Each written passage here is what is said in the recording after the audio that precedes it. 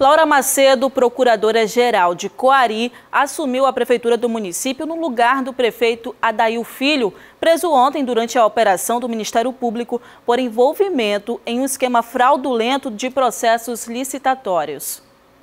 Corrupção, lavagem de dinheiro, peculato. Crimes praticados por uma organização criminosa chefiada por membros do alto escalão da Prefeitura de Coari, no interior do Amazonas. Promotores do Ministério Público afirmam que Adail Filho, prefeito do município, pagava fornecedores que não recebiam da Prefeitura há anos. Em troca, cobrava dos empresários 30% do valor da dívida. Ontem, Adail Filho e mais três pessoas foram presas durante a Operação Pátrinos, deflagrada pelo Ministério Público do Amazonas.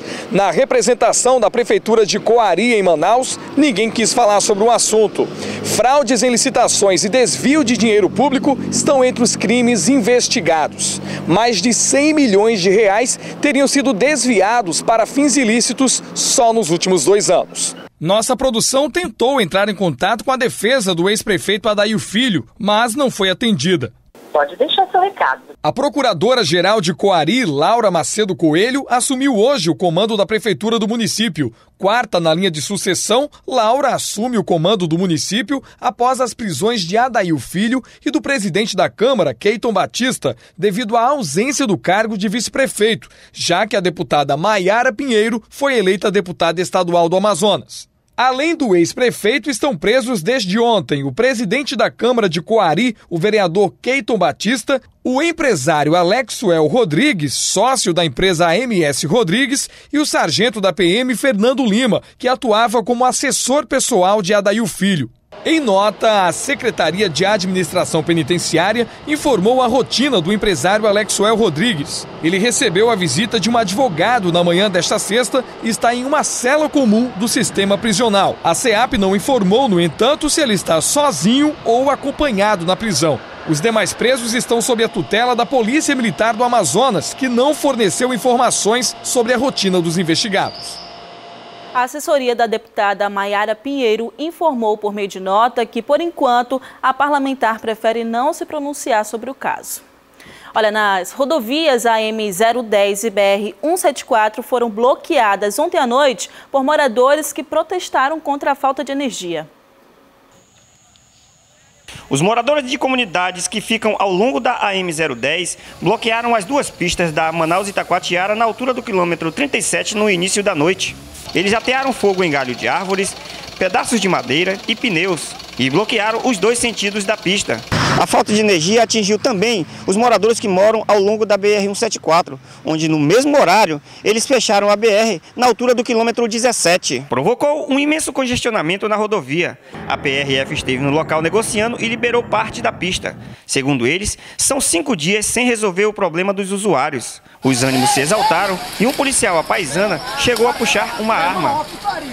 Ei, ei, ei! Ei, parou! Parou, pô! Eu também sou polícia! Para! Ei, parou! Parou! Tu sabe que não pode puxar arma, guerreiro! O trânsito foi liberado na BR após três horas de manifestação. Em nota, a empresa Amazonas Energia informou que enviou equipes às duas localidades para diagnosticar e solucionar os problemas da rede elétrica e garantir o abastecimento aos consumidores. Confira agora outras notícias no Giro pelo Interior. Aqui em Parintins, um vídeo que viralizou na internet mostra alunas brigando dentro de uma escola estadual no centro da cidade. O caso ocorreu na última quarta-feira. Um grupo de alunas se reuniu no banheiro da escola para se desafiarem, através de insultos, palavrões e agressões. E o que é pior, tudo registrado através de celulares. Segundo o gestor interino da escola, todas as jovens envolvidas na briga foram identificadas e medidas suspensivas já foram tomadas. Em Manacapuru, três homens foram presos e um adolescente de 17 anos apreendido, suspeitos pelo latrocínio de um homem de 59 anos. A vítima era Boanéses Aguiar de Lima Filho. Ele foi morto a tiros na noite da última segunda-feira, no sítio onde ele morava, na AM 352, estrada de Noveirão. Eles planejaram né, esse crime uma semana antes chegaram a matar um cachorro da vítima. Com um quarteto, a polícia ainda recuperou a televisão, um lava-jato e uma motocicleta que tinha sido roubados durante o crime. Em Fonte Boa, uma quadrilha foi presa por cometer assaltos na Vila Martins, na zona rural da cidade. Segundo informações de moradores, Cleudo Juvenal, Alcinei Maia, Alcemi Maia e Daniel Ribeiro agiu com violência durante os assaltos. Eles chegavam a ameaçar, espancar e até torturar as vítimas. Com a quadrilha, a polícia recuperou um notebook, um computador, uma maquita, uma bomba de água e duas caixas de fósforo com cocaína.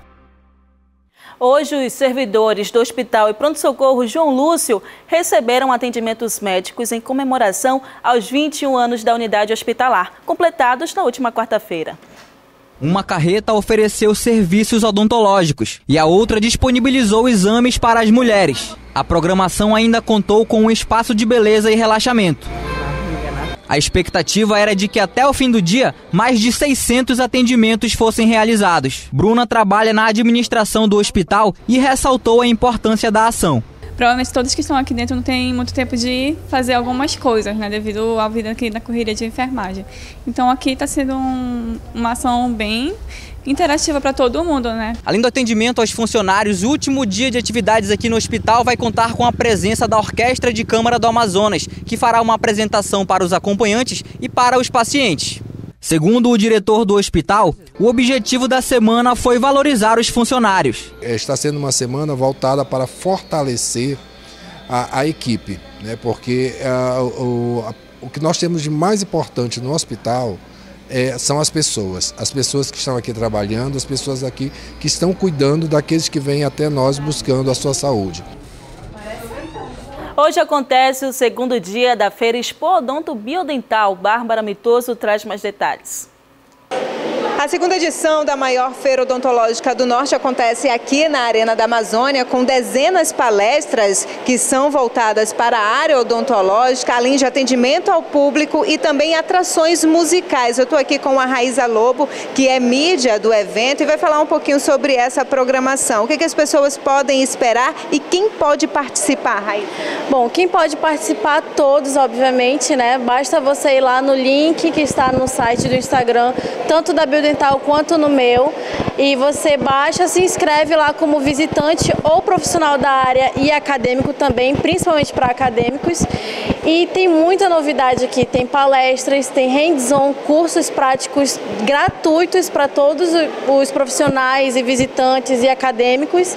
Tem a praça de alimentação para quem quiser prestigiar o evento e tem muitos profissionais, tanto locais quanto nacionais também, que são referências na odontologia e estão se disponibilizando para vir aqui compartilhar o conhecimento deles. Obrigada pela participação. Então é isso, olha só, a feira ela acontece até amanhã, dia 28, das 9 da manhã até as 6 horas da tarde. Volto com você no estúdio. Uma exposição do artista plástico Rubens Belém marcou nesta sexta-feira a abertura do novo espaço cultural do Tribunal Regional do Trabalho. A Amazônia é a inspiração para cada detalhe. As cores vibrantes representam a força da cultura e a diversidade do Amazonas. Todas essas obras são do parintinense Rubens Belém, que iniciou a carreira aos 10 anos de idade e hoje é um dos maiores artistas plásticos do estado. 20 anos atrás eu passei a me dedicar à pintura sobre telas. Né? E a cada obra eu procuro desenvolver a técnica. Foi quando eu passei a, a pintar com espátula. Ao todo, 20 obras estão em exposição Todas as pinturas foram feitas à mão pelo artista com a técnica de pintura espatulada. Essa arte revela a preocupação com a preservação da história dos povos indígenas. Isso faz parte da política do próprio Centro de Memória. Ele é incumbido da gestão de documental, mas também da preservação da memória. Dez quadros já foram vendidos antes da abertura do evento e além das pinturas, a área tem um espaço dedicado à venda de artesanato, produzidos por indígenas.